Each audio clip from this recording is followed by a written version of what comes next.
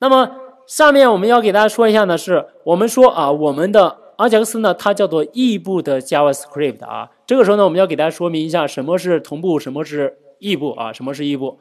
那么现在呢，我们给大家看一下我们这个请求。哎，你找到这个请求之后呢，你比如说啊，我现在啊，我在发起这个请求之前，我弹出一个消息，叫做 alert 啊，alert 直接写一个一，然后呢，哎，当这个请求执行完之后呢，我写 alert 写上一个二啊，写上一个二啊，哎，比如说我们就在这边吧，哎，我在这边 alert 一个三。那么当这个回调执行的时候呢，我给它 alert 一个二啊，alert 一个二。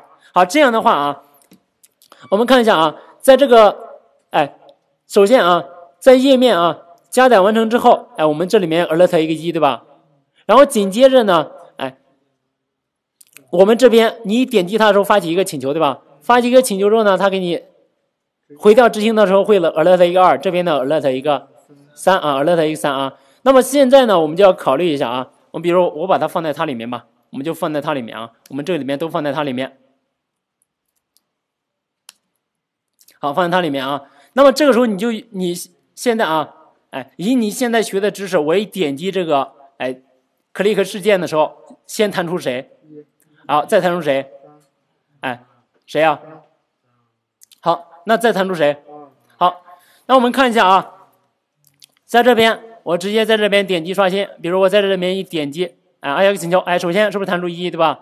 那么然后呢，哎，弹出三，哎，最后你再点，哎，这个出错了，对吧？哎，出错它没弹出啊，我们把这个错误代码给它还拿掉啊，哎，还拿掉，把这个错误直接给它拿掉。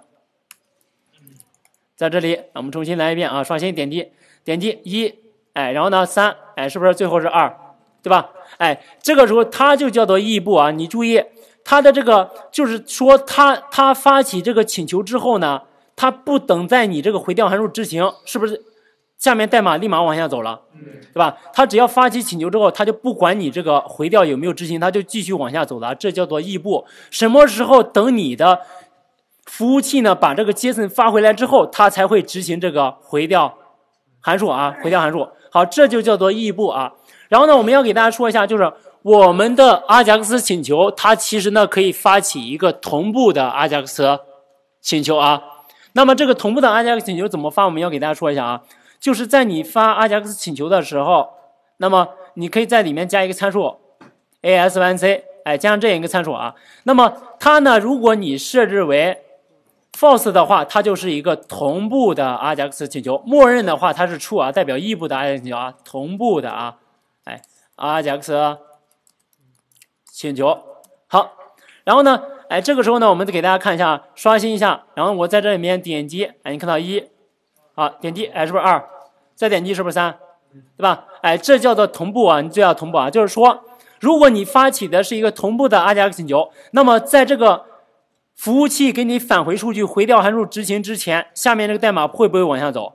不会，不会往下走，对吧？哎，这叫做同步啊。那么这里面你要注意我们所讲的同步和异步的区别，就是。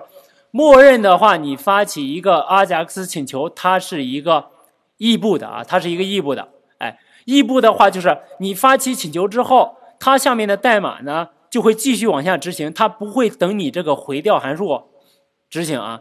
哎，什么时候等你这个哎服务器返回这个 JSON 之后，哎，这个回调函数呢才会被执行。那如果你发起的是一个同步的阿贾克请求的话，在这个回调函数执行之前。